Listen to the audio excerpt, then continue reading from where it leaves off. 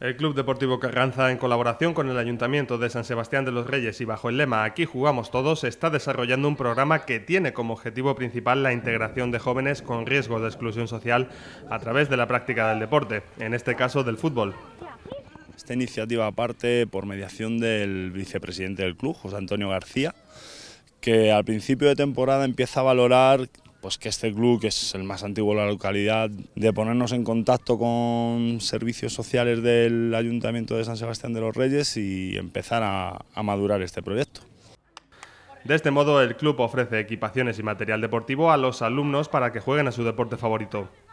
Además, un equipo de monitores cualificados del club supervisan la actividad deportiva y ayudan a los chicos en la práctica del fútbol. Los entrenamientos se realizan todos los miércoles de 5 a 7 en el complejo deportivo de Saboyal.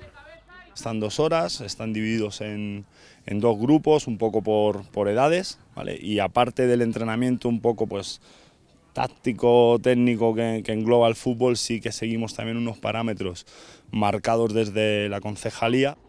Con esta iniciativa, tanto el Club Deportivo Carranza como el Ayuntamiento de Sanse buscan ayudar a que los alumnos aprecien los valores que se inculcan dentro de la disciplina de un deporte de equipo entre las que destacan el respeto, el compañerismo, la solidaridad, la responsabilidad e integración, unos valores aplicables más allá del terreno de juego y que ayudan a concienciar y a labrar mejores ciudadanos. Si su comportamiento, sus habilidades y sobre todo también sus estudios son los que tienen que ser, eh, el premio será dar el paso y empezar a englobar parte de nuestros equipos de competición también. Todos aquellos interesados en conseguir más información sobre este programa pueden hacerlo poniéndose en contacto con el Club Deportivo Carranza a través de su correo electrónico.